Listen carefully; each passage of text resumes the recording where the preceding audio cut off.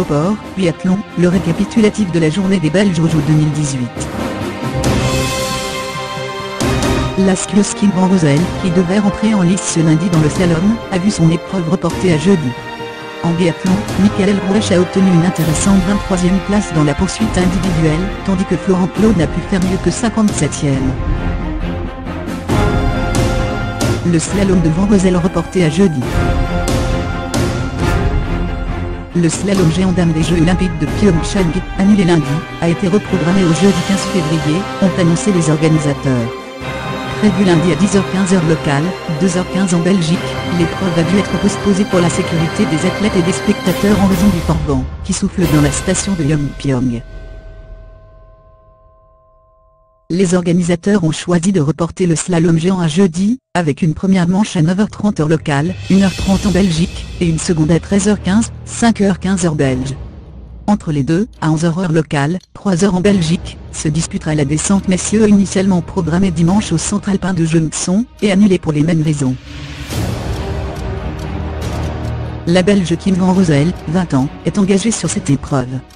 L'Anversoise disputera encore le slalom, 14 février, le Super G, 17 février, la descente, 21 février, et le combiné, 23 février biathlon, Michael Rouech 23e, et Florent Claude 57e de la poursuite. Après le sprint, c'était lors de la poursuite en biathlon. Michael Rouech a terminé 23e, et Florent Claude 57e de la poursuite en biathlon, lors des 23e Jeux Olympiques d'hiver de Pyeongchang. Michael Rouech s'était élancé de la 38e position, à 1. lundi il a été un des quatre biathlètes à n'avoir tenu qu'une faute au tir, dans sa dernière série. Les trois autres sont montés sur le podium. Florent Claude était parti du 55e rang, à 2. 05. Il a signé un 16, 20 au tir, une faute dans chaque série.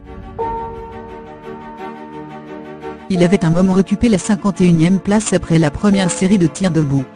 Nos deux représentants, les premiers à porter les couleurs belges au jeu en biathlon, disputeront encore l'épreuve individuelle sur 20 km, jeudi, 15 février.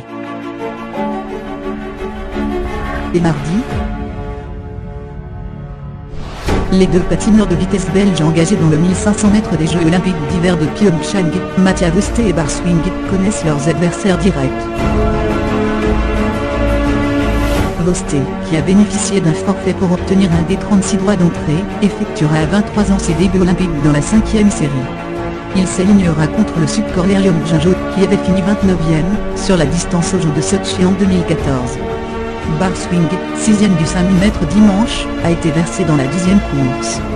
Le Louvaniste, 10ème à Sochi sur 1500 mètres, aura l'américain Shani Davis comme concurrent.